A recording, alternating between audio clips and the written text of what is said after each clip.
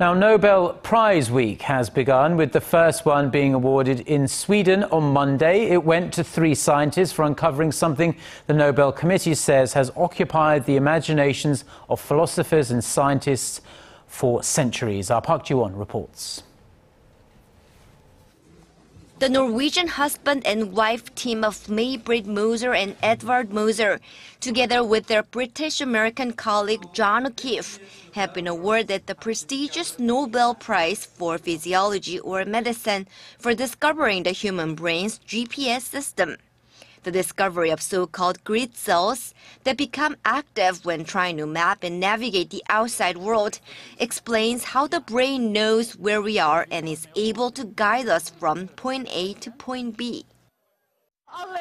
Everyone is here to celebrate with us today. It is absolutely fantastic. What we're interested in is to register small signals, electrical signs from the brain, so that we uncover the mysteries of the brain, such as sense of place and memory. May-Britt Moser's husband and co-researcher Edvard was told the news after getting off a flight from Germany. Of course, I'm full of gratitude. It's a, a great moment.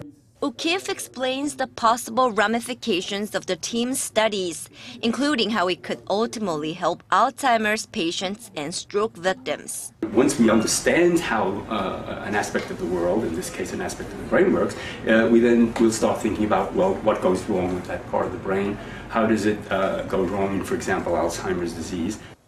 The trio of scientists will receive 8 million Swedish crowns or some 1.1 million US dollars for broadening our understanding of the human brain's cognitive functions.